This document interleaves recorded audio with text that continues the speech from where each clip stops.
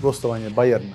Gostovanje Bajerna, tako je. Oni su bili izolovani na prvom spratu, tako da svi gosti ili ljudi koji bi se potencijalno jeli, slikali, vidjeli, upoznali sa igračima su bili onemogućeni.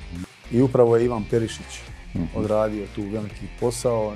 Ja nisam išao naravno, išli su moji sinovi to njima e, veliki događaj. Uspjeli su da se slikaju sa svim igračima Bajerna, a posebno im je bio interesantan susret sa Noerom, gdje su oni na srpskom objašnjavali, pokazivali moju sliku sa svjetskog prvenstva, kaže, moj tata, Anis, ja tako.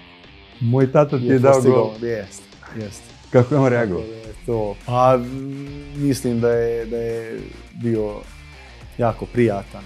Bar oni takve utiske nose.